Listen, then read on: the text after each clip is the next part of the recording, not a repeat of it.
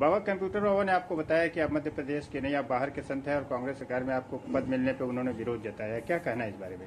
Computer बाबा एक number का बेवकूफ़ है, पढ़ा लिखा नहीं है। पहले उसको जानकारी कर लेना चाहिए कि मैं देव मुरारी बापू, मैं यहाँ का रघुवंशी हूँ अशोकनगर का मेरा जन्म है और रघुवंशियों से भिड़ने की कोशिश ना करे, नहीं तो जिस चौराहे पे मिल जाएगा जूता से मारूँगा।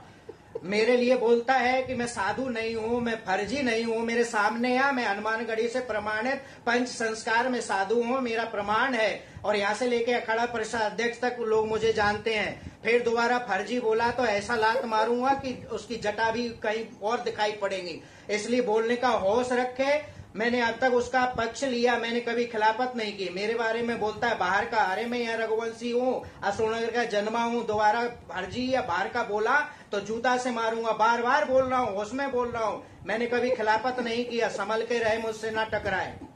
और वो जाति का कुर्मी पटेल है। मैं रघुवंशी हूँ। हमारे संत में जाति का दो भेद चलता है। यदि कोई छोटी जाति का है तो उसको मालाधारी बोलते हैं। और ब्राह्मण ठाकुर आदि जाति का है तो उसको सूताधारी बोला जाता मैं सूताधारी, वो मालाधारी। इसको मंदिर में नहीं घुसाया जाता। सूताधारी को घुसने का अधिकार होता है। इसको रसोई में नहीं घुसने दिया जाएगा, क्योंकि ये कुर्मी पटेल है। और मैं रघुवंशी हूँ। और कुर्मी पटेल होने के नाते ना तो इसको मठ मंदिरों में रसोई में घुसने का अधिकार है न पूजा करने का मंदिर में अधिकार है। ये ब्राह्मण ठाकुरों को अधिकार मिला है।